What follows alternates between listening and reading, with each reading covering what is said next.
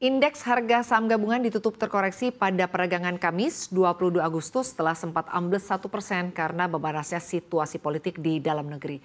Lantas seberapa besarkah pengaruh politik terhadap pasar saham? Langsung saja kita akan bahas dalam Ramai Demo Darurat Indonesia ini pengaruh politik ke pasar saham. Ya, IHSG merana di tengah makin memanasnya aksi demo terkait revisi Undang-Undang Pemilihan Kepala Daerah.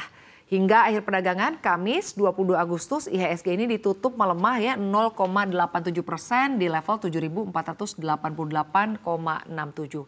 IHSG pun terkoreksi ke level psikologis 7.400-an, tepatnya di sekitar 7.480-an setelah sebelumnya berada di atas level 7.500-an.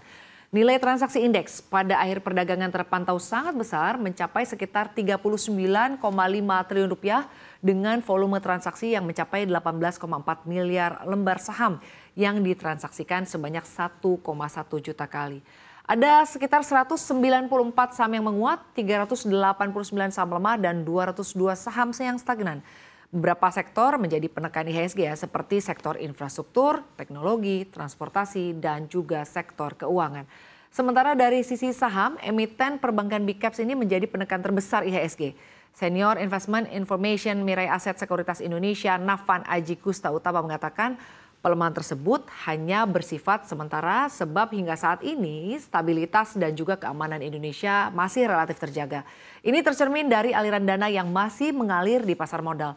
Navan juga menjelaskan selain karena panasnya demo terkait undang-undang pilkada, depresiasi IHSG yang terjadi ini lebih dipengaruhi oleh dinamika neraca transaksi berjalan pada kuartal kedua. Bank Indonesia menyebut defisit transaksi berjalan atau current account deficit akan kembali muncul hingga akhir 2024 meski angkanya relatif rendah dan Gubernur Bank Indonesia Peri Warjio juga mengatakan cadangan pada tahun ini akan mencapai 0,1 persen hingga 0,9 persen. Lalu bagaimana sebenarnya dampak instabilitas politik berpengaruh pada IHSG di tahun-tahun sebelumnya? Kita simak di slide berikutnya. Iya, Pilpres 2019 ini menjadi salah satu contoh ya pemirsa di mana ketidakpastian politik ini cukup memberikan pengaruh atau memberikan dampak langsung kepada IHSG. Pada bulan April 2019, setelah hasil quick count ini menunjukkan persaingan ketat antara dua kandidat saat itu ya, yaitu ada Joko Widodo dan juga Prabowo Subianto. IHSG ini turun pemirsa penurunannya ini sekitar 3,2 persen dalam waktu satu minggu. Menurut data dari Bursa Efek Indonesia, IHSG pada 17 April 2019 atau pada hari pemilu ini ditutup di level 6.481,77. Namun dalam sepekan setelah pemilu, IHSG ini terus mengalami tekanan dan bahkan ditutup di level 6.372,79 pada 24 April 2019. Ini mencerminkan penurunan sebesar 1,68 persen hanya dalam waktu tujuh hari. Dan selain itu total nilai transaksi harian juga mengalami penurunan dan ini menunjukkan adanya sikap wait and see dari para investor.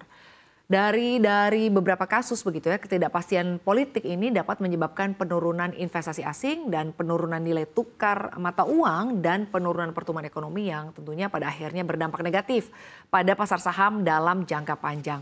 Di sisi lain, meskipun mengalami koreksi di tengah panasnya situasi politik dalam negeri, IHSG ini sebetulnya uh, cukup dibanjiri oleh sentimen positif. Lalu apa saja sentimen-sentimennya? Kita lihat ya di slide selanjutnya. Ya, dalam waktu kurang lebih dari sepekan IHSG ini dapat kembali mencetak rekor all time high dan menembus level 7.500-an ya pemirsa. Ada beberapa penyebab atau ada beberapa sentimen IHSG ini dapat kembali mencetak rekor tertingginya. Kita lihat yang pertama ya ini prospek pemangkasan suku bunga The Fed dan juga dari Bank Indonesia. Nah, prospek berakhirnya era suku bunga tinggi ini menjelang akhir tahun menjadi salah satu penyebab pelaku pasar masih optimis begitu ya dan akhirnya membuat IHSG ini terus mencatatkan rekor.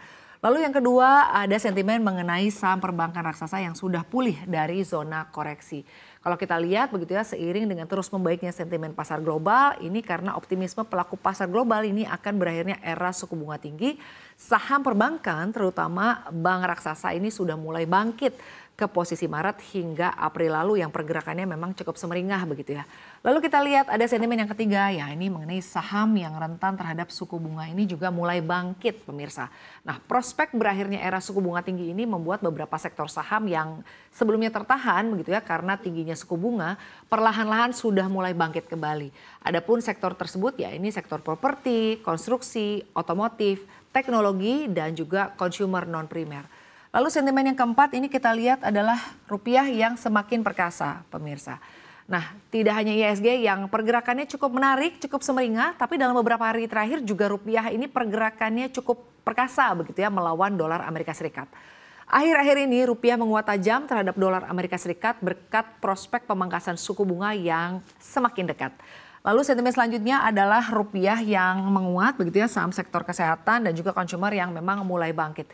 Perkasanya rupiah ini tentunya membuat saham-saham yang rentan terhadap depresiasi rupiah ini juga mulai bangkit, yakni saham di sektor kesehatan, consumer non primer dan juga perbankan. Nah, lalu di tengah tidak stabilnya kondisi politik dan juga banyaknya sentimen yang mempengaruhi pasar keuangan, bagaimana sebenarnya cara kita menjaga portofolio investasi? Kita simak di slide berikutnya, pemirsa.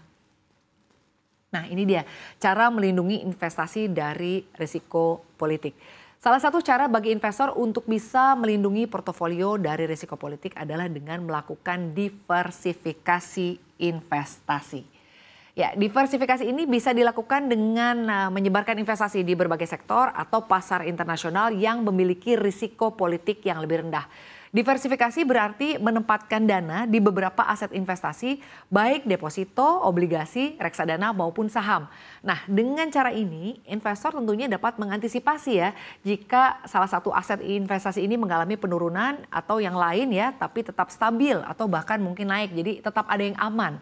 Nah, selain itu, berinvestasi dalam aset yang dianggap sebagai safe havens ini seperti misalnya emas begitu ya atau obligasi pemerintah juga bisa menjadi strategi yang cukup bijak di tengah panasnya situasi politik dan juga kondisi ketidakpastian global ke depannya emas juga kemungkinan bisa melanjutkan penguatan ya dikarenakan banyak yang beralih untuk mengalihkan investasinya ke aset yang lebih aman. Namun untuk saat ini di mana ekspektasi suku bunga acuan ini akan turun, akan lebih bijak bila investor ini juga menyiapkan alokasi untuk investasi lainnya. Nah, Kestabilan ekonomi dan politik merupakan kunci ya keberlanjutan investasi karena seberapapun menariknya investasi secara nilai keekonomian, namun tanpa adanya stabilitas tersebut para investor sangat mungkin akan memilih keputusan yang lain.